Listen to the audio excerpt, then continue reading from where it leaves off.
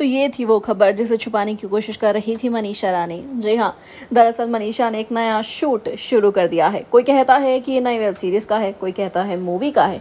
कोई कहता है कि सोनी पर आने वाला शो, सोनी लिव पर आने वाला शो गुल्लक का सीज़न फोर है। दरअसल अब प्रॉपर जानकारी तो फ़िलहाल नहीं मिल पाई है मनीषा के इस शूट से रिलेटेड लेकिन हाँ ये ज़रूर कह सकते हैं कि मनीषा का ये शूट दिल्ली में हो रहा है क्योंकि वो कल ही उन्होंने दिल्ली ट्रैवल किया था ये तो बात श्योर थी कि वो दिल्ली में होगा।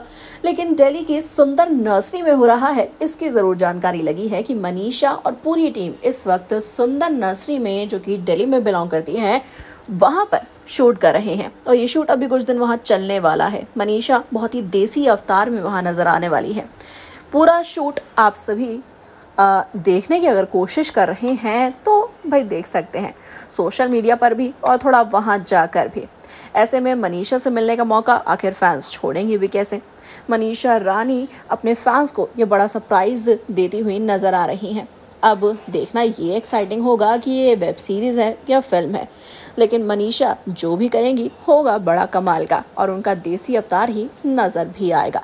फाइनली मनीषा का एक्टिंग में होगा डेब्यू जिस देखने का फैंस को था काफ़ी वक्त से इंतज़ार। क्या कहना चाहेंगे मनीषा के इस अपडेट को जाने के बाद? आखिर आप सभी उनके नए प्रोजेक्ट के लिए कितना एक्साइटेड है? कॉमेंट करके हमें ज़रूर लेकर बताइएगा। वीडियो को लाइक से चैनल को सब्सक्राइब के बिना बिल्कुल भी ना जाए।